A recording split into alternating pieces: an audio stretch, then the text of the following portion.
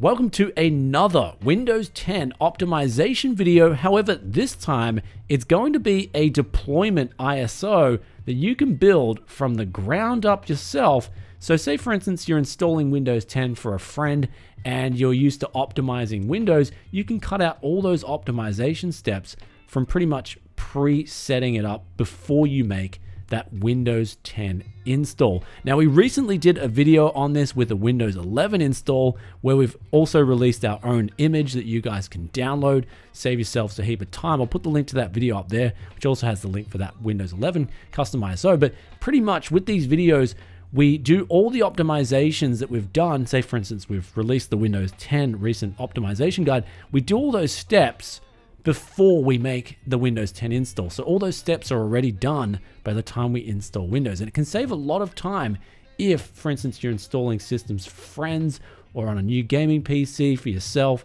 or multiple different applications, even if you're deploying things as well. So you can customize Windows the way you want. And that's what we're going to be doing in this tutorial here today. We're going to show you how you can do it yourself, but also at the same time, I'll be making my own Windows 10 ISO in today's video and then putting the link in the description below, taking you guys through all the steps and processes just like we did with the Windows 11 video. Now, the first thing you want to do with this is get a program called NT Lite. Now, make sure you go to the main website and download this program. Don't go to any third-party websites. They could have viruses. And another thing is you will also need to go to Microsoft's website and download the Windows 10 ISO. Now you can get a 32-bit version here or both. We're just using the 64-bit uh, version in today's tutorial. And another thing is too, I do recommend once you've got Windows 10 installed, making sure Windows is activated. And today's video sponsor, SCD Keys, I've been working with them for a very long time. Their keys are pretty much some of the cheapest on the internet and they never miss a beat. If you install this, it's going to be tied to your motherboard, and then you won't have to ever activate Windows again, at least for that PC, even if you reinstall Windows. So these are one-time OEM key licenses, and they last for a lifetime. The Windows 10 Pro key licenses, they work for Windows 11 too, so you don't need to go out and spend extra on a Windows 11 license. And if you use the coupon code BFTYC on checkout, you can save yourself a massive 35% off with this coupon code. So I'll put the links in the description below. Use that coupon code for that discount. You'll get Windows 10 for as little as 15 US dollars. Though with that said, let's move on now with this tutorial. After we've downloaded NT Lite and our ISO file, we can then extract the Windows 10 ISO and copy all the files out of it and put it into a separate folder. And this is important because we need to be able to edit this file in NT Lite. So if we don't take this step, we won't be able to edit our ISO image. So once we've done that, we can then go to open up NT Lite and go to add and then go to add image directory and then also add that as the image directory that we made. So in this case, it's called Windows 10 extracted. And this may take now five minutes. So we're going to, after we've done that, we're going to load up now Windows 10 Pro and then we are ready to start customizing our ISO. So now we've loaded up our image of Windows 10 Pro, it's time to now start removing and disabling a lot of stuff that we don't need. Now, we go down here to remove components, and first of all, I will say this is going to be for the single end desktop user. It's not going to be for someone who's remote accessing PCs or controlling servers because I'm pretty sure those people will already know how to make their own custom ISO. This is for someone who just wants to cut out a lot of crap for a single end desktop power user. And in fact, this is even better than the optimization guide in some ways because we can get to the core of the OS and eliminate some of these annoying services before they can even make their way to the final install of Windows. However, the first one we're going to go over here is remove and then go down to this sub tab here or sub menu components and we're going to go to localization. And here we've got the language area where Usually we will take off for my own custom ISO. Afterwards, I'm going to leave only English and uh, Japanese enabled because they're the two languages I use on Windows with programs and also uh, all my essentially graphics user interfaces in these two languages. However, for the purposes of releasing this custom ISO to everyone, I'm going to leave these languages enabled. But if you want to take away all these language packs that you don't need, you can do that in your own custom manner.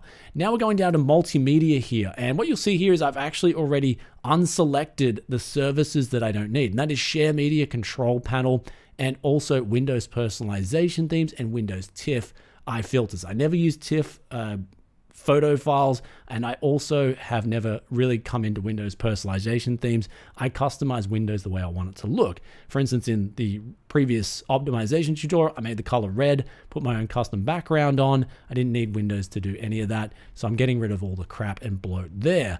So after we're done with that multimedia sub-tab, we can then go down to network, and what we've seen here is we've unchecked Internet Explorer. This is one thing I like to do. So we don't need the old school Internet Explorer as I personally use Edge. And then going down here to payments with unselected wallet service as I never use this wallet app with Microsoft.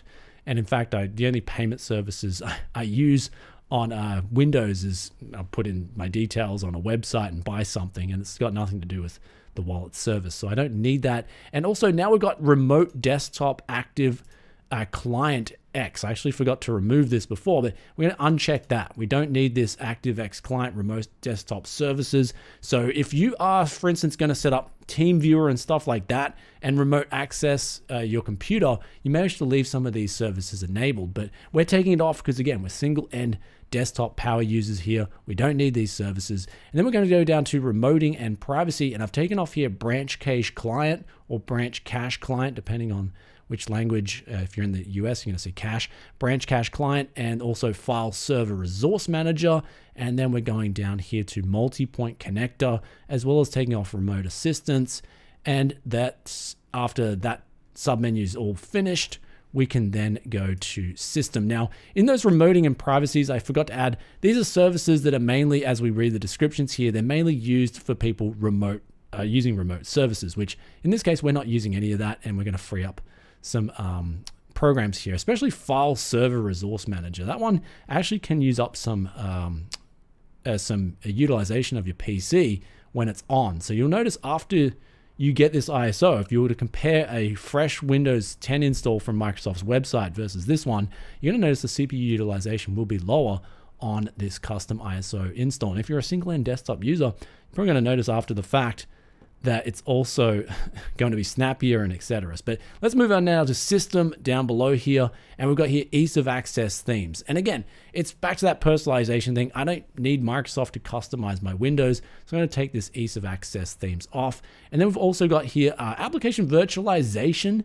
Virtualization is different from remote servers in that you can essentially set up a virtualization uh, OS and install things via that virtualization. For instance, if you don't trust an application and you want to test it out without affecting your main install of Windows, you can open it up in a virtualization environment. So I do like to leave that on because it can come in handy sometimes. Or if you're really hardcore and you're not going to use that, and you're just installing your games, you can take that one off. But I'll leave it on for the um, mass distri- distribution tech, yes, Windows 10 optimization ISO. And then down here, device lockdown, embedded in, embedded experience. I don't have that enabled. Hyper-V integration services.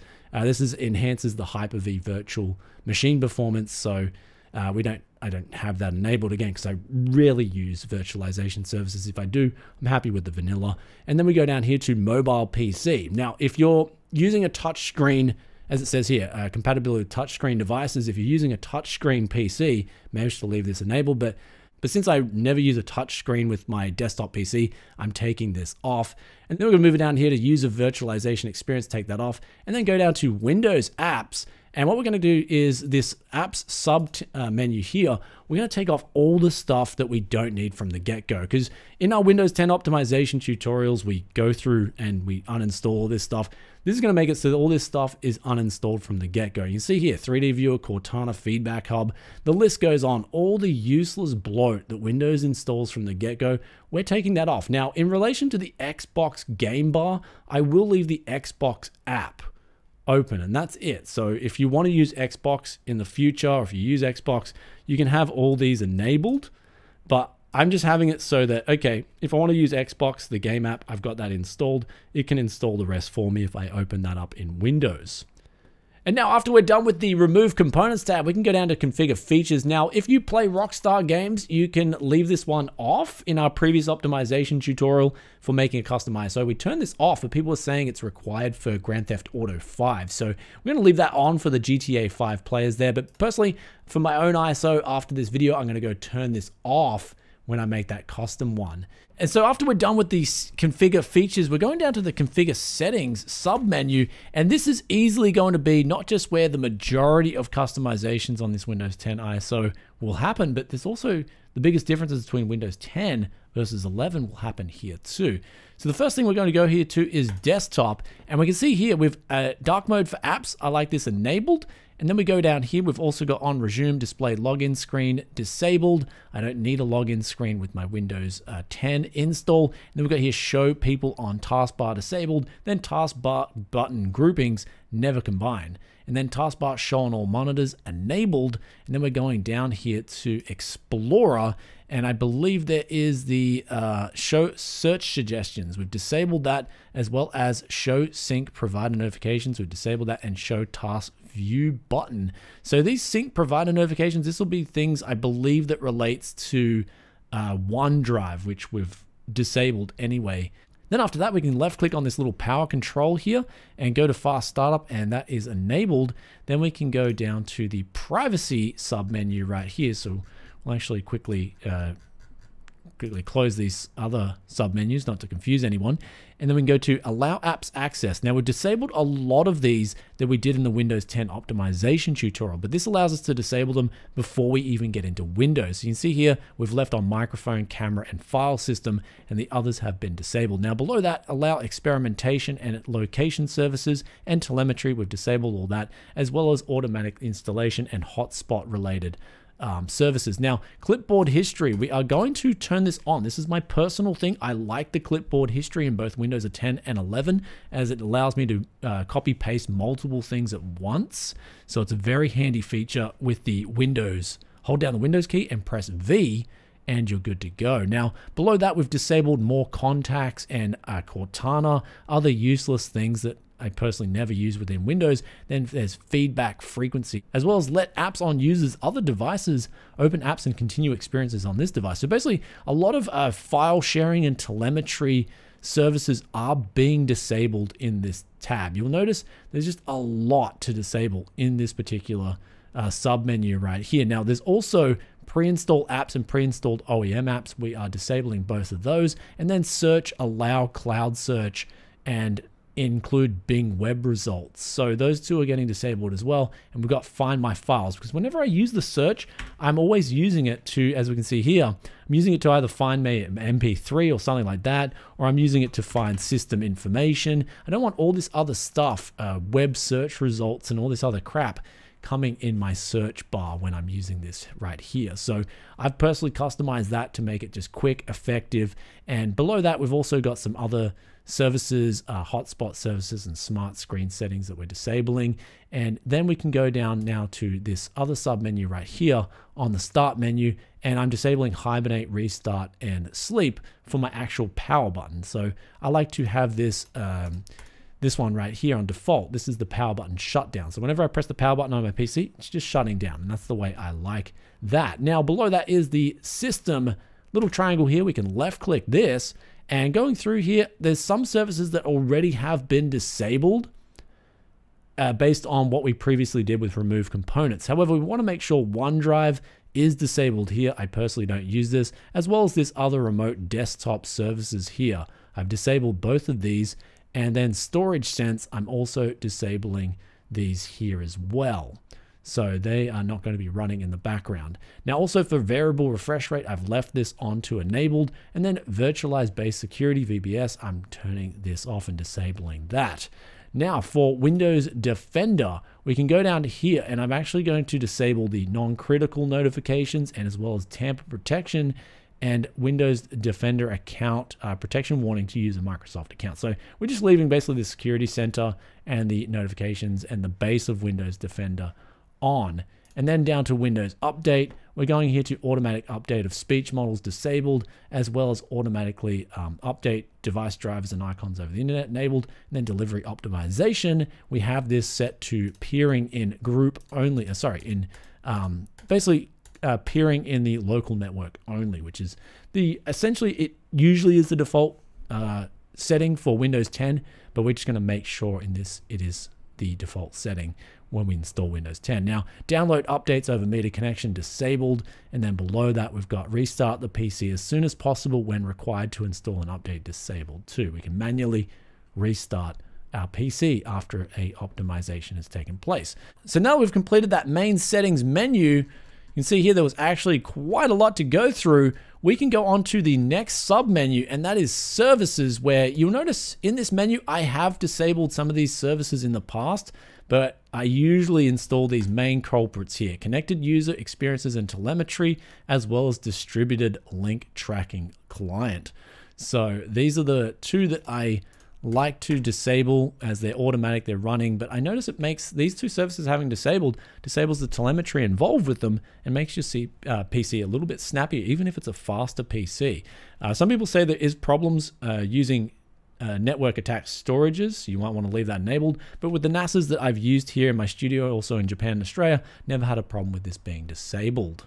So now we are done with services, we can now go down to the automate unattended, left click this, and then left click enabled up the top here, and then copy to install image as well as copy to boot image, as well as copy the prompt edition selection. So these three things here are selected. And then also within this uh, sub menu right here, the final install options, we can go down to the out of the box experience and we are going to have the skip EULA page, true, and then local account setup false. So we want to make sure we are getting the option to put in our username for the PC locally and then skip the online account setup true.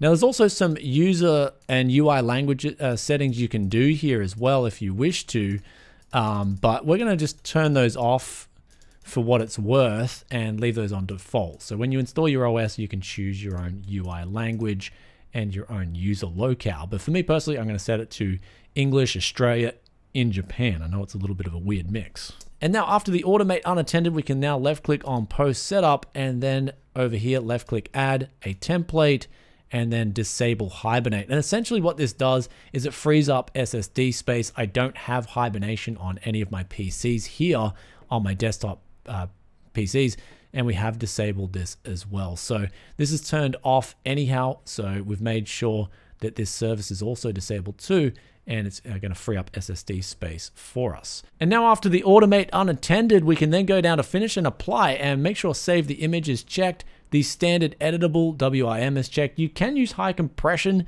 but it can be finicky. So we're going to give that a miss with today's edition here. Remove non-essential editions. We are going to make sure that's checked there. And then also um, we are going to go down to reapply tasks across editions. So essentially what this is going to make this bootable uh, Windows 10 Home, Windows 10 Enterprise, all that stuff is going to be the same configuration that we did for our Windows 10 Pro here today. So that's going to enable that all across the options. And then our last step here is to then left click create ISO and call it Windows 10. In this case, we're going to call it Tech Yes Edition 2023. And we are going to save that on our desktop and that should be okay and good to go. So now with all that aside, we now have a custom ISO with all those optimization settings that we have done in our previous tutorial baked in as well as some additional bloat removed from the get-go. So this edition is going to be even slightly better than our previous optimization tutorial that we did for single end users. But the good thing about this is too, is it's already good to go. So if you guys want to get this exact ISO that we made in today's video here, we're going to put the link in the description below. This is the Tech Yes 2023 edition. It's going to be seeded and um, every time we do this, you guys absolutely love it. And I've actually got to reinstall my system soon too. I'm on Windows 11, but I might just go back to Windows 10 just because I want to directly compare them side by side again in my head and just see what it's like going between the two, especially for power using where I'm going from video editing to sometimes playing some games and stuff like that. So this will be awesome in nature and hopefully you guys will enjoy the time savings and also you've learned a lot in terms of how to make your own custom ISO and things that you don't like and like, you can add in and remove them as necessary. And also guys, before we get on out of here, if you want to get Windows 10 Pro legitimately activated for as little as $15, we've got today's video sponsor SCD keys in the description below that link. Just click that and then put in that coupon code BFTYC and you'll get a code delivered instantly. It's a single end user license for your motherboard. It'll activate Windows 10 Pro. You can also use it for Windows 11 and it's going to save you a lot of hassle as well as being some of the most best value in terms of getting a key on the net. And with that aside, I'll catch you guys in another tech video very soon. If you stayed this far and you're enjoying that Tech Yes content, be sure to hit that sub button, ring that bell, and I'll see you in the next one. Peace out for now. Bye.